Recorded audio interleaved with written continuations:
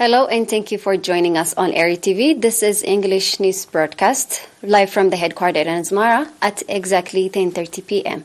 First, the top stories. Senior Eritrean delegation held bilateral talks with delegates of several countries. Call was made to strengthen teaching learning process in Foro subzone. Heavy rains kill at least 36 people in India.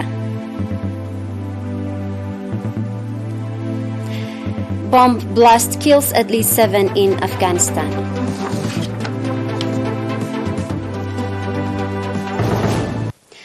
In our local news, on the sidelines of the 77th United Nations General Assembly, the Eritrean senior delegation led by Mr. Osman Saleh, Minister of Foreign Affairs, held bilateral talks with delegates of various countries and participated at Group of 77 in China. The delegation that comprises Presidential Advisor Mr. Yemane Gebreab and Mrs. Sophia Tesfamariam, Eritrea's permanent representative at the United Nations, met and held talks with Mr. Hussein Abdel Bagi Akol Agang, Vice President of South Sudan, as well as Mr. Sergei Lavrov, Minister of Foreign Affairs of Russian Federation, Prince Faisal bin Farhan Al Furhan Al Saud of the Kingdom of Saudi Arabia, Mr. Denis Moncada Colindres, Minister of Foreign Affairs of the Republic of Nicaragua, and Mr. Abdul Shahid, Minister of Foreign Affairs of the Republic of Maldives, focusing, focusing on strengthening bilateral relations as well as on regional and global developments.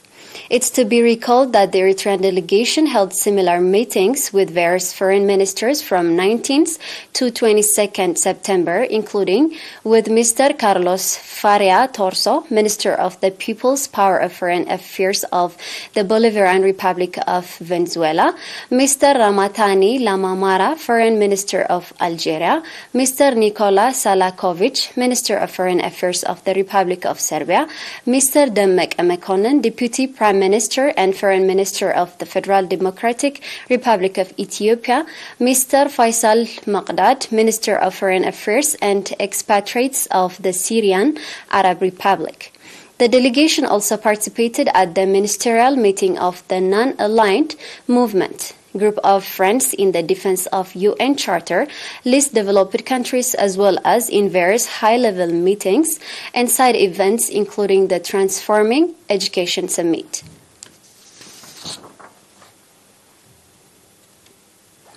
Mr. Ismail Ali, head of educational facilities in Foro subzone, called on parents and stakeholders to increase participation with a view to develop capacity and competitiveness of students. Mr. Ismail made the call at the activity assessment meeting conducted on 17 September.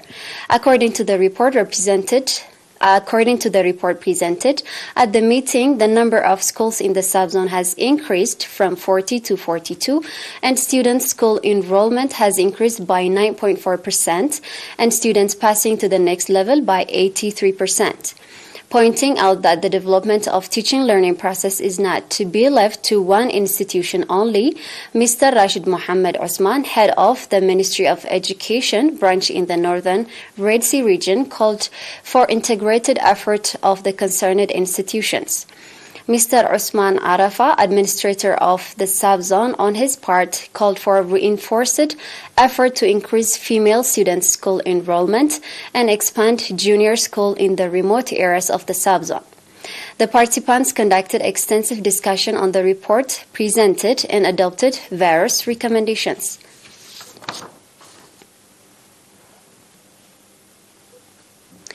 Government workers in Barentu subzone voluntarily donated 124 units of blood on 22nd September. indicating that as a result of the sustainable awareness raising activities, the number of voluntary blood donors is increasing from time to time. Mr. Kala Abgabru, member of the National Voluntary Blood Donors Association, called for exerting effort to develop the number of voluntary blood donors. The voluntary blood donors, on their part, expressing satisfaction for the contributing their blood with a view to save lives with their renewable blood and called on others to follow the novel example.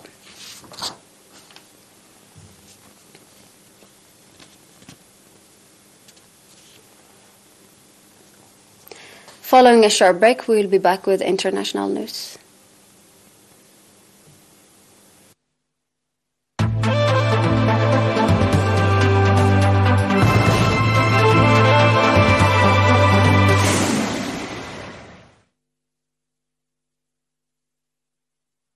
International news. Hazardous weather has killed at least 36 people in northern India over the past 48 hours, including 12 who died after being struck by lightning. Across the northern state of Uttar Pradesh, 24 people died after their homes collapsed during unrelenting rains. This is according to Relief Commissioner Ranvir Prasad. Officials say 39 people in the state have died from lightning in the last five days, prompting the state government to issue new guidelines for how people can protect themselves during a thunderstorm. Lightning strikes are common during India's monsoon season, which runs from June to September. Colonel Sanjay Srivastava, whose organization Lightning Resilient Indian Campaign works with the Indian Meteorological Department, said deforestation, depletion of bodies of water, and pollution contribute to climate change, which leads to more lightning.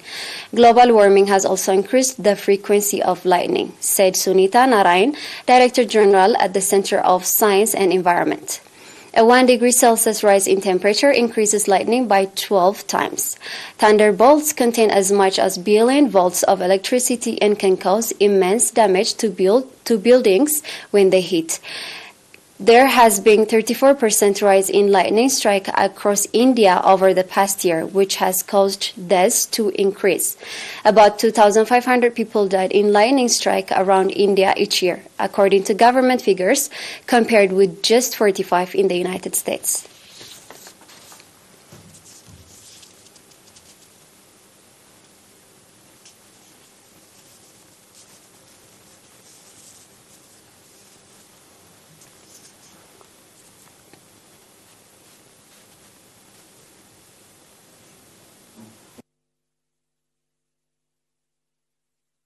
Twelve people were killed and dozens were wounded when a car bomb went off at a mosque in Afghanistan's capital, Kabul, as worshippers streamed out of afternoon prayers. A column of black smoke rose into the sky on Friday and gunshot ranged out several minutes after the explosion in Wazir Akbar Khan, an area formerly home to the city green zone, the location of many foreign embassies and NATO, but now controlled by a ruling Taliban. The Association Press News Agency quoted a Taliban official as saying that at least seven people were killed and 41 wounded. Afghan media report put the death toll at nine, and there was no immediate claim of responsibility. The Italian NGO Emergency Hospital said it received 14 people from the blast, four of whom were dead on arrival. The United Nations mission in Kabul said that the bombing was another bitter reminder of ongoing insecurity and terrorist activity in Afghanistan. Interior Minister spokesman Abdul Nafi Takor said the blast went off on the main road near the mosque and investigation was underway. The explosion on Friday was the latest in the daily series of bombing at mosque during Friday prayers in recent months. In 2020, the Wazir Akbar Khan Mosque was struck by a bomb that killed two people, including the mosque's prayer leader. And now we have a quick review of the top stars. Senior Eritrean delegation held bilateral talks with delegates of several countries. Call was made to strengthen teaching learning process in Koro subzone. Heavy rains killed at least 36 people in India. bomb blast kills at least seven in Afghanistan.